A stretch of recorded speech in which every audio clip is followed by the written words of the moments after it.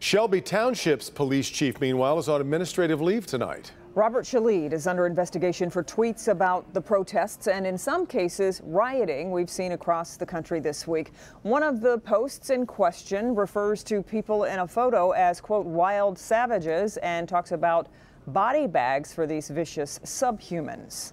Rod Maloney live in Shelby Township with the latest on the reaction to all this. Rod? Well, uh, Devin, as you can well imagine, there is deep concern here in Shelby Township. The chief now off the job with pay while they investigate these accounts. There are two of them. One is uh, called uh, Sheepdog 711, another one is Bobby S. And uh, tweets going back and forth in differing arenas.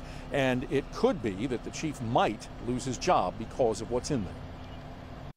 There is certainly no mistaking the sentiments in these Twitter posts. The violence prompting Bobby S. to say, This makes me want to vomit.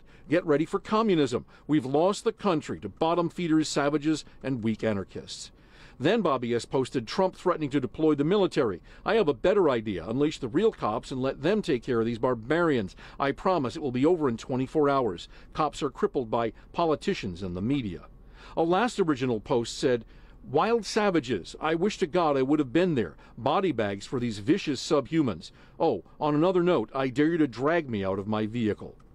Bobby S. also replied to other posts, one apparently from a parent worried about a police officer's son in the middle of chaos who said, Please make it stop. Please pray. Bobby S. replies, I would hit them with tear gas and water cannons, rubber bullets. They have no right to be on the freeway.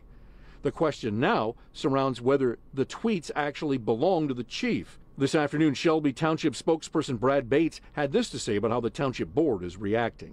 Core of all of our beliefs as Americans is due process, presumption of innocence, and um, equal protection under the law. So, and right of freedom of expression. So at this time, Shelby Township is still gathering facts about the situation, and it's really premature to comment any further than this.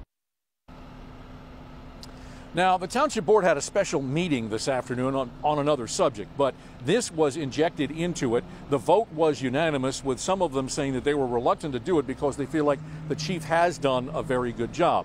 But the investigation is now being done by an outside law firm.